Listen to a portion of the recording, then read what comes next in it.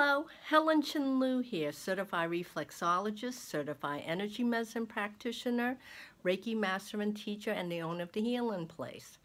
Well, last week, I should say two weeks ago, I have one of my YouTube readers sent me an email asking for help for his son who was producing too much calcium in his body. Unfortunately, the calcium deposits are causing him problems. So I promised him I would do a hand reflexology and foot reflexology tip that he could do on his son. Well, first of all, if you're not familiar with uh, your calcium and how it's made in your body, your parathyroid, which is right above, right about here, next to your thyroid, produces the calcium in your body. People say, well, I drink milk. Will that make it worse? Well, since I am not a medical doctor, I can't go into all of those types of details but I could show you where are the reflex points to address this. So to address here, I'm going to use uh, show you on my hands, hand, little hand reflexology, your thumbs are your head, and your fingers are your toes.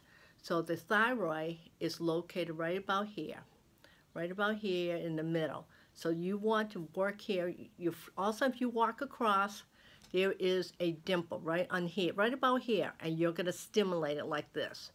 Ooh, See, even I could feel it. You want to be firm. You see how my tissue is turning kind of white? Well, that's what you need to do. You don't really have to press this hard, but I like to just do a firm pressure.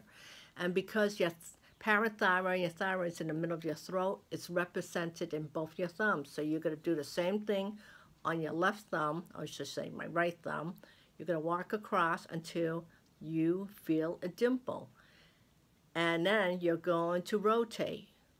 You could do this anywhere from, I would say, 10 to 15 seconds. You could do it daily for a short amount of time. I would not recommend you do it all through the day. Too much of a good thing is not good also. So I want to show you what it's like to do it on your feet. So I'm going to hopefully take this camera and turn it this way.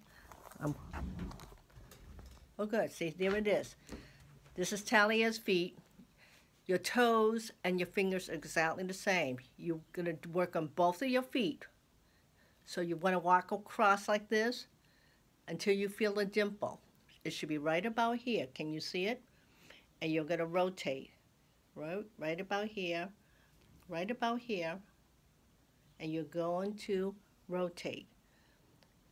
And you're going to do this for both, both feet. Again, 10 seconds, 15 seconds and not much more, just once a day. Again, too much of a good thing is not good.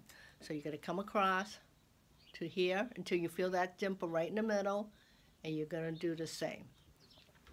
So that's my reflexology tip today. Helen Chin Lui from the Healing Place. I'll be talking to you real soon.